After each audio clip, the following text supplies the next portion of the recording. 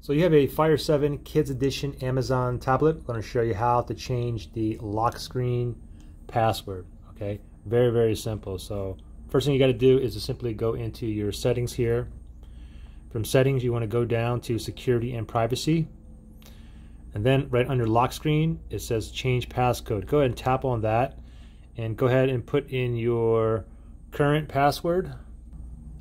Then click on finish and then type in your new password here. Or you can make it a pin as well, okay? You can go with numbers, four character numbers, or you can do an actual password.